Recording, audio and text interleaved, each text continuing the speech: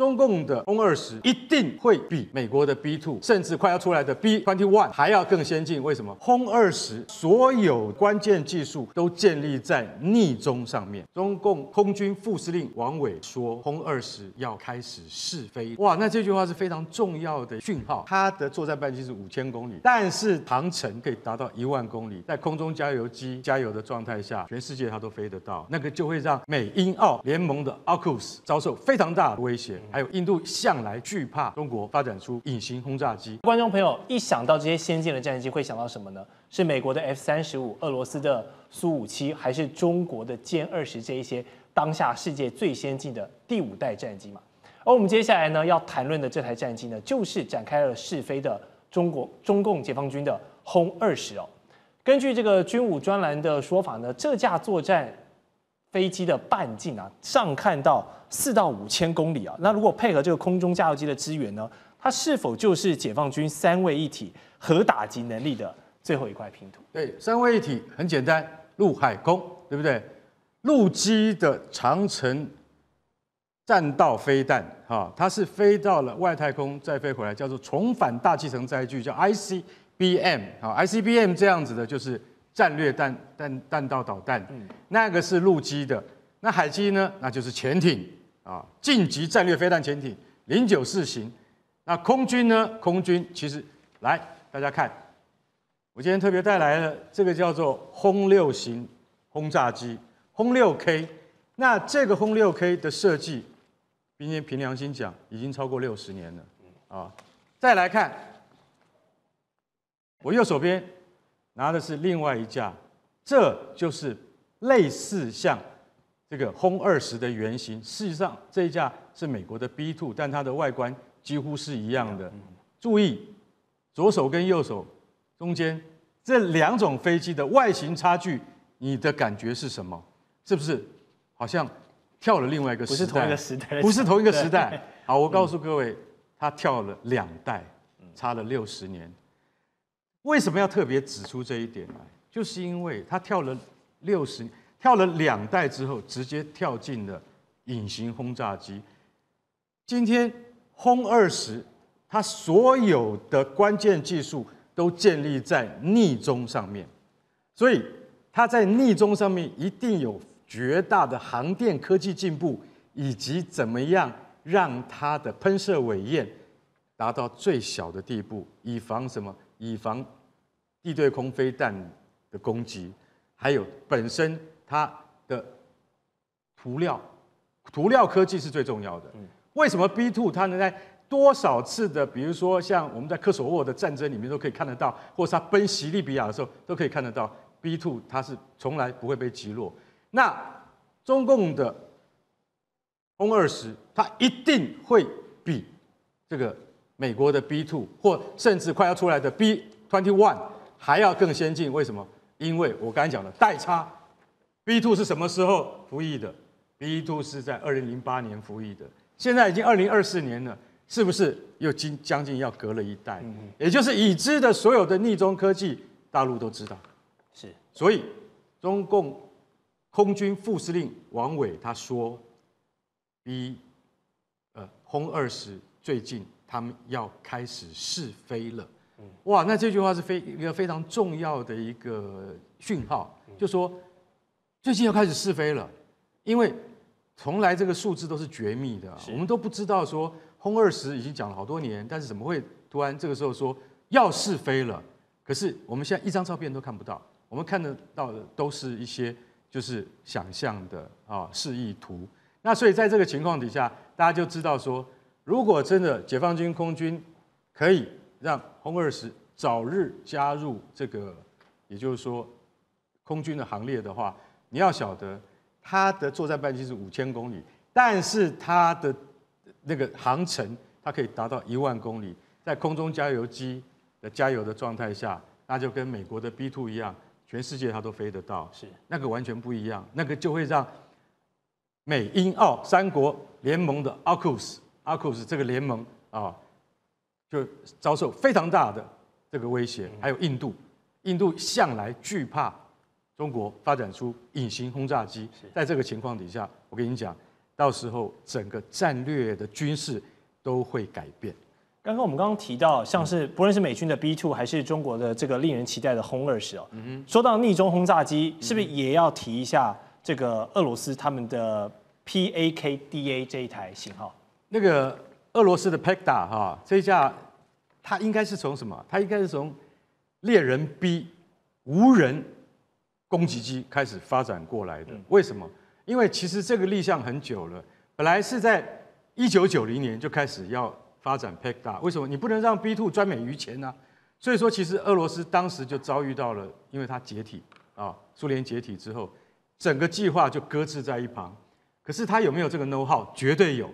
所以为什么 Pekda 它能够在就是在几年前，它就已经决定说，这个逆中轰炸机它要出来。不过我要特别讲到那个俄罗斯的这个 Pekda，它有一个缺点是什么？就是说。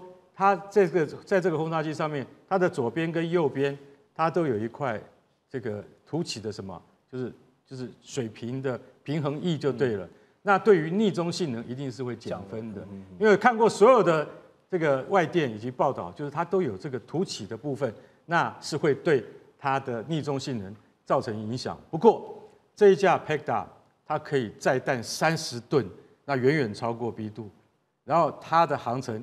也可以达到一万五千公里以上，也是全世界都飞得到，所以它的进度可能会比轰二十快一点，可能很快我们就可以看到俄罗斯这架隐形轰炸机正式面世。嗯哼嗯，好，我们说这些逆中的隐形战机呢，是透过这个外形的设计来吸收雷达波的隐形涂层，跟减少电磁波的反射，进而达到从雷达上消失的隐形效果。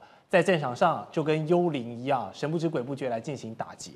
不过呢，现在有中国科学家他们说，利用了这个星链系统，侦测到了大疆民用这个无人机哦，然后从这个理论去反推，敲出说，哎，是不是可以用同样的方式来侦测到美军隐形战机这件事情？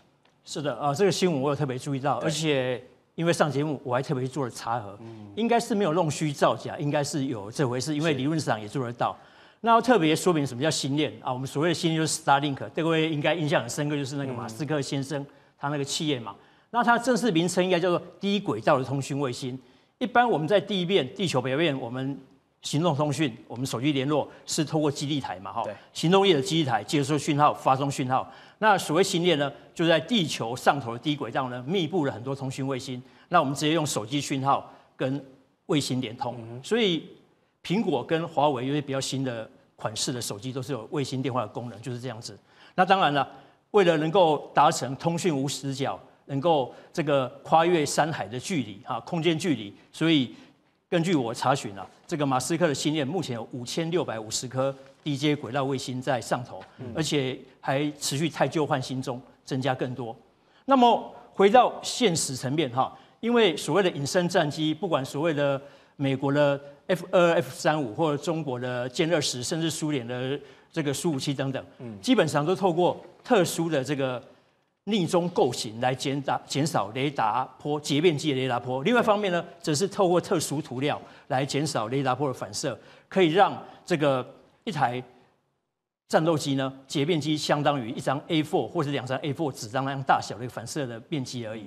那么虽然说它可以避过雷达波，在地球上空飞行的时候呢，因为密布着很多所谓的低轨道同速卫卫星，它的电磁波难免会受到飞机飞行轨迹的干扰，而产生了一个变动，电磁波变动，所以它用这种间接手法来侦测出所谓的这个逆中飞机。当然，外国媒体也有提到了，他特别提到是 DJI，就是大疆了哈，就是说确实有侦测到这种电磁波的异动，那证明飞机存存在，那有可能用同样的原理。来侦测到逆中战机，不过呢，有几个地方要特别注意，因为啊，首先逆中战机飞得比较高，也飞得比较快，它的构型跟无人机还是不一样，你大疆无人机也不一样。那么在实验室做得出来，那在战场使用上能不能做出来，又是另外一回事。此外呢，要讲到运用星链了，那美国人最有资格讲了，因为星链毕竟还是美国人的气这个。企业嘛，哈，所以说如果真的有这个功能的话，美国人要获利更多嘛。所以这只是目前我们见到的一个科学新知、军事新闻的进展。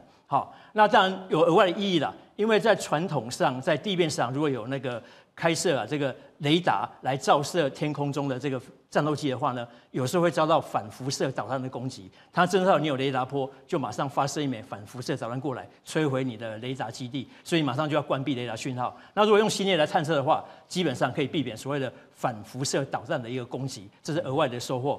不过最后我们一提了哈，台湾有没有可能发展自己的星链？就是鉴于俄乌战争嘛，这个乌克兰受到新链帮助很大，那万一哪天？这个台湾遭受到境外势力攻击的时候，所谓的资讯通讯基础建设已经是第一波被攻击目标嘛？那有没有可以用新链来取代呢？这个理论上可能，但难度很高。首先是新链呢，毕竟是美国人的一个企业嘛，哈。那按照我们国内的行动通讯法规，是不容许外国人的这个企业来经营，除非说有双方的合作。第二点呢，它还是市场导向的，战争期间有可能提供帮助，也有可能就放弃援助了。最后一点。如果自己要做星链的话，因为所谓的低轨道通讯卫星呢，它会着随着地球自转而变动，所以大概一颗卫星大概涵盖的范围大概只有三到五分钟。所以我们如果要做台湾版的星链，至少要发射一两百颗卫星，才有办法构成构建出一个完整的通讯这个范围。所以这个是有在努力。好，那最近这个军事迷注意到的呢，还有土耳其海军首艘这个两栖突击舰安纳杜五号。它在飞行甲板上展示了两架无人机哦，并且土耳其方是很自豪的说，这艘两栖突击舰是世界上第一艘的无人机航母，这说法也是蛮膨胀。想问一下李将军，这艘舰艇究竟有没有料？哎，是不是第一艘我们不敢讲了啊，但是之后来讲的话，零七六一定是比他带的飞机无人机要多，而且形式更多，这是这是必然的。那土耳其这个国家很特殊，你一个国家要建军来讲的话，要考虑的因素很多。第一个，你国家的地理位置在什么地方？第二个，你国家面对的威胁，你的假想敌是谁？第三个，你国家经费是多少？有多少预算经费？那目前来讲，我个人认为土耳其其实你说危险吧，也蛮危险，但是说安全也很安全，因为它是北约的成员国之一。对。那它又横跨欧亚两洲，那它的地理位置来讲，又卡住这个欧亚两洲很重要的地方，包括俄罗斯的黑海，要经过它的布博斯普鲁斯海峡才能够进入到地中海。然后完了以后要经过这个呃要到红海以后才有可能到印度洋哈，所以它占据了呃呃这个地缘上面很重要一个位置，这是它地缘来讲。但是它经济上面来讲，平常来讲，这个这段时间它经济状况不是很好。那因此我个人认为，它发展这种武器来讲的话，主要目的当然也就是他能够确保到他的博斯普鲁斯海峡。不要受到其他国家的威胁，不管是俄罗斯，如果说想要占领这个地方，就是占领博斯普鲁斯海峡，能够让他的黑海舰队能够进入到大西洋。当然，他也要要防止说是像以色列，因为他是穆斯林的国家，那当然也要防止到这个以色列或者是北约国家，那以后对他的这种呃不管攻击啊，或者是有不良的企图。所以我觉得他发展这种武器来讲，对他来讲应该是足够了哈。他不需要去发展那种大的航空母舰，那他有这一艘航空母舰来讲，对他来讲应该是绰绰有余了。那未来的战争形态势必是一种无人机。我们知道每种武器的新的武器出来，往往都会改变战场的形态。从第一次战争，对不对？以前来讲，我们看到拿破仑战争都是这个弹兵排在一起，然后一起前进。有机枪出现的时候，你的战斗队形就要改变了嘛，就要不断卧倒。要进，然后当有这个第一次世界大战有壕沟的时候，那后续来讲就是有战车发明，有战车出来的话，壕沟战就已经变成历史。可是现在来讲的话，像这个以前来讲有主力舰，对不对？不管是大和号啊，或者是这个德国的阿尔卑斯号这种大型的战舰来讲，等到有航空母舰出来的话，这些大型战舰就就无用武之地。那这次从俄乌战争，我们就很明显看出来，当有无人机出现的时候，这些战车来讲的话。就只能当乌龟了哈，这很明显。上次我们都看到俄罗斯弄了一个乌龟战车在那边挡这个无人机的这种攻击，所以我觉得它这种军舰来讲，制造出来以后，对它控制不管是地中海或者是黑海来讲的话，应该是绰绰有余。面对美国空军的战略威胁呢，中国大陆空军副司令员贾志刚在珠海航空展当中呢，曾经强硬的表示说，解放军将会打造强大战略威慑力量体系。那么，大陆的军事专家宋忠平就解读说，贾志刚的这番发言是暗示着解放军在不久之后呢，会推出轰二零隐形轰炸机来对抗美国预定在十二月要推出的 B twenty one 啊这个突袭者战略。轰炸机。中方现在要推轰二零啊，隐形轰炸机，好像要锁定的是 B twenty one 啊。黄老师你怎么看？从目前我们所取得的这个资料来看，哈，这个呃轰二零啊，它可能配备了哪些先进的技术呢？以您的了解，技术我现在没有看到什么公开的资料，嗯，但是我要回归一个本质啊，这种轰炸机是基本上不是战术啊，是战略轰战略轰炸机，对不对？一九九九年炸管事件的时候。美国是从路易斯安那的怀特曼基地，多少次空中加油飞到南斯拉夫精准打击。今天我就算有那个飞机，我没有空中加油技术，我中间所有的这个这个到达那个打击区的这些配套我都没有的话，嗯，我怎么把它变成战略轰炸？战略轰炸机这些战略轰炸机基本上要达成战略上的效果。嗯，那么我觉得不管它是 copy 了，或者是啊别人要有的我也要有，或者是说不同的中国大陆的国有的飞机制造商，为了要自己的生存，一直在开发新的项目，这些我们通通把因素放进去以外，放放进去之中哦，我们再来看，嗯，呃，其实有一些呃单件的。单机的 prototype 啊，预做试做的那些要真正变成啊一个真正有核主力量或者一个战略轰炸能力的一个一个机群啊，达到战略效果，嗯，那条路是蛮长的，嗯嗯。啊嗯，不是因为它可以造这个飞机造出来就有那个效果，它考量的是相关它旁边配套的。我会隐，我会隐形，但 但我不，我空中加油没办法加到我要打的地方，就航程的问题没有用。对啊，那可是看到说美中两强现在纷纷推出他们这个新型的战略轰炸机啊，靖哥，您觉得观察两国在这个战略空军上的竞赛，您比较两军？我首先要这边澄清一个观念，在传统的军事思想之中，战略空军是各打各的仗，没有什么对抗。但是战略空军呢，是执行战时的任务的，要能够啊支持国家整体的军事战略，无论是平日啊所进行的战略贺主，或者战时的实际的用兵。第二个呢，就诚如刚才黄老师所讲，能够在啊这个战时的时候，野战用兵的时候，能够遂行啊他的军事任务。所以战略空军不光啊是只有啊轰炸机，它也有远程实施运兵作战，还有空中加油的其他配套的军种，还有相关的直管通勤、空中这个太空联系这些通信一大堆的东西都在一起。所以不要把它窄化成战略轰炸机。嗯，我们要知道所有之中要有这个所谓的作战性的杀伤 （operational kill）。必须能够啊产产生军事的意涵，而且要造成呢政治的影响 （political influence），它才叫做一个战略的空军。嗯，那最重要一件事情，我还必须从政治的角度哦，就是说切入。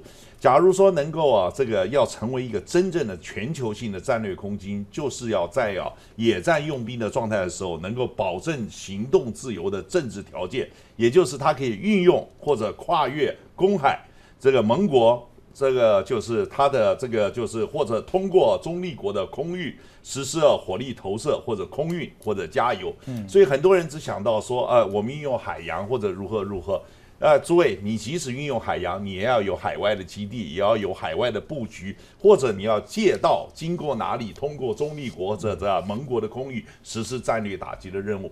所以要成为真正的全球大国，不是靠你推出一个这个轰二十就可以解决。这是我们必须要要一再的这个就强调，它有很多政治的配套。所以呢，这个要强就必须是大国，要大国就必须走向全球。所以在这个地方之中，你能够啊如何在政治上完成全球的布局，然后去拉这些就是这个拉这个盟友。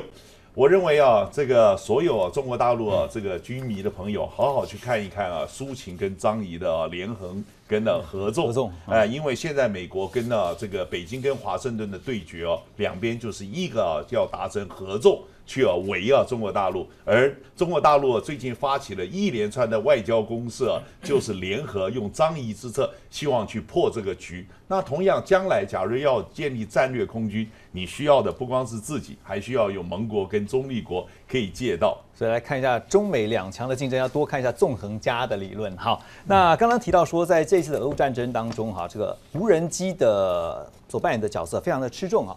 那这次的珠海航空展的一个亮点呢，其中之一就是这个中国大陆所研发的无人机的科技，其中呢是由中国航天科技集团十一院所研制的这个彩虹七啊，备受瞩目。为什么呢？因为它具备了持续侦察、还有这个警戒、探测、防空压制、作战支援，还有发射飞弹的能力啊。另外，滞空时间就是停留在空中的时间呢，可以超过三十个小时以上的 TB 零零一 A 啊，双尾蝎 A。也是解放军，那么常常在这个台海周边呢，还有穿越这宫古海峡的利器啊。我请教一下老大，珠海航空展上面出现这个中共的无人机啊，您的评估未来，呃，我们刚刚讲到这两款了，至少这两款，哪一款对这个台海的威胁啊，是我们特别要注意的？其实，在这一次 珠海这个航展当中啊，中国大陆是展示很多不同型号、不同类型、不同用途的无人机。嗯，这是第一个。第二个我们要注意，它除了无人机以外，它也出现了很多无人的地面装备、无人的海上装备。所以你只说哪一款无人机啊，对台湾威胁最大？啊？这个是见树不见林。嗯哼，啊，你要知道，中国大陆是当今全球无人装备研发、生产与应用的大国。中国大陆是这样，如果在这最近五十年才有的东西，中国大陆很强。嗯。你说一两百年前，人家西方已经开始，就像刚刚讲那个啊，这个这个这个发发动机械方面，这个中国是很累的。嗯。但是在新的东西，中国那个在研发，所以在无人机方面，所以这你要知道，美军最注重的这次航展注重的不是无人机，是注重了新型两栖战车，无人的新型两栖战车。无人的新型两栖战车。无人新人，那这个两栖战车在登陆台湾的嘛？对，对不对？所以有的时候，所以就说这个时候就说。台湾海峡未来要面对的场景是什么？大规模无人化的武器装备，海陆空都有，然后配合有人武器装备，甚至完全是无人化作战。嗯，这样的一个场景是我们要那个。所以今天来讲，就是我军要如何有效应对，啊，它是一个很严重的挑战，也是一个很急迫的一个课题。嗯。哦，所以我们这个时候说不能再讲，哎，哪一个哪一个对这个那个不那个那个不行，要考虑整体无人作战，嗯，这个智能作战这个情况该怎么应付？我我顺着老大这一番话，我就进一步请教呃委员哈，就是说刚刚提到一个重点啊，嗯，不只是无人机啦，无人船舰，甚至将来也许有无人飞机哈，这个就是这个一般的这种战机啊，无人化的作战。就是未来是不是成为作战的一个主要的态一一个形态？那以我们的了解，台湾这边的话，因为台湾也在发展很多的这个无人机嘛。那对于这个未来的战争形态，既然有一些转变的话，您会观察未来的一个态势会是如何的发展？无人机对台湾的威胁比较大了，那个船舰事实上还早得很啊。因为你刚刚讲的那两型，像这个双尾蝎就是属于很重型的，嗯。它最大可以到一点五吨哦，所以我们一般看就是续航力嘛，携带的弹药量啊，然后它能够飞多高，嗯，然后是不是真打一体，那个侦测的准确度啊，因为我们已经看到俄乌战争就有用无人机来做战场的侦察管理嘛，对，已经发现这个，然后再做攻击啊，那我们现在担心的就是说。这个他如果用无人机不断的干扰我方的雷达啦，啊，那我们会不堪其扰，嗯，因为可以做的非常小啊，而且还有蜂群作战，啊，如果蜂群作战，事实上也会造成相当大的困扰。那等于是像布了一个网的感觉。是啊，像上千只。事实上，你已经看到双手双双拳难敌四手。对啊，饱和攻击，那就会浪费掉你的飞弹。嗯，比如说你到底有多少飞弹可以打空空中的攻击？那如果来的都是无人机呢？而且他现在还要把他的那个报废的飞机改装成无人机。嗯，所以那个就是要耗费你的飞弹。是是，所以啊，基本上现在面对无人机，真正的啊，就是这个呃反制之道是完全是袭杀别人管制无人机的直管通勤系统，就是完全割脑战。嗯，那至于无人舰船呢，我觉得有一点大家都是哦，大家观察这个是最大的盲点。根据联合国海洋法公约第二十九条这个战舰的定义啊。无人舰啊，将来在海上国海上啊作战，跟战争法规啊会要出现很多的问题。会怎么样？会怎么样？因为它不符合。